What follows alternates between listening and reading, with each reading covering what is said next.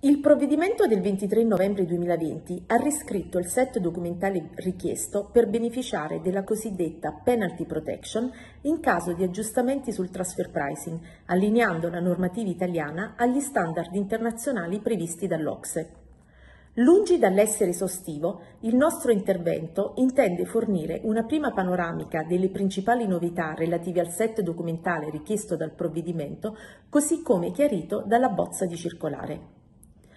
Se da un lato è accolto con favore l'allineamento all'Ocse per rispondere all'esigenza di migliorare la trasparenza tra le amministrazioni fiscali, tenendo in considerazione i costi di compliance delle imprese, dall'altro non passa inosservata la rigidità della struttura e le formalità richieste, tra cui la marca temporale, che rischiano di rendere ancora più gravosi gli oneri documentali per le imprese. Con il venir meno delle definizioni di holding, subholding e impresa controllata, tutte le società sono tenute a predisporre il master file, il cui contenuto è stato allineato all'azione 13 del BEPS, così come trasposto nelle linee guida OXE. La possibilità di presentare il documento in lingua inglese dovrebbe comportare che i gruppi con casa madre italiana potranno predisporre un unico documento che abbia validità sia italiana che estera e analogamente le controllate italiane di gruppi esteri potranno utilizzare il master file preparato centralmente se il paese della capogruppo ha recepito le previsioni dell'azione 13.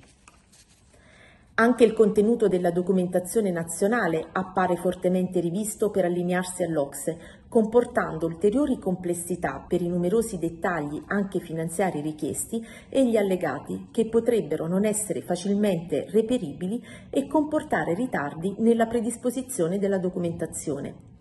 Si pensi alla necessità di ottenere prospetti di analisi riconciliati con i bilanci di esercizio anche delle società estere e i molti casi in cui tali riconciliazioni non sono facilmente reperibili in quanto generalmente il sistema di reportistica aziendale non è strutturato secondo eh, logiche di segregazione per transazioni intercompany.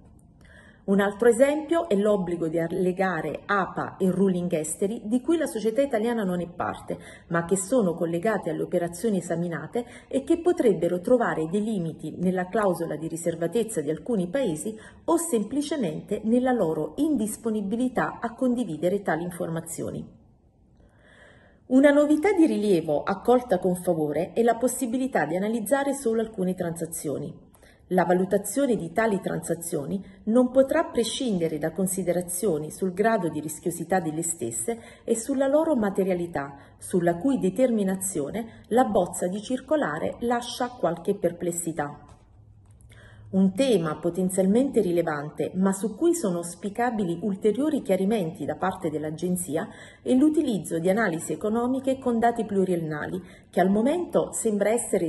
riservato soltanto ai comparabili e non anche alle teste e parti, così come avviene in altri paesi OXE.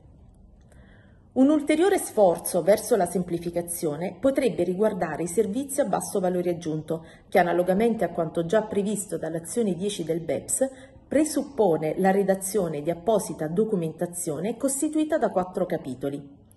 Tuttavia, mentre l'Ocse contempla un documento autonomo e semplificato, non a caso inserito in un capitolo separato delle stesse linee guida,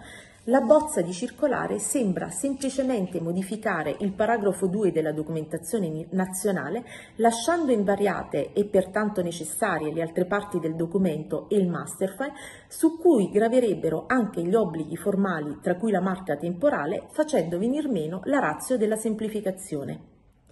Da segnalare infine che le società con fatturato inferiore a 50 milioni di euro, ma controllate da società con fatturato superiore, non sono più considerate piccole e medie imprese, riducendo significativamente le casistiche che potranno beneficiare delle semplificazioni previste per questa categoria.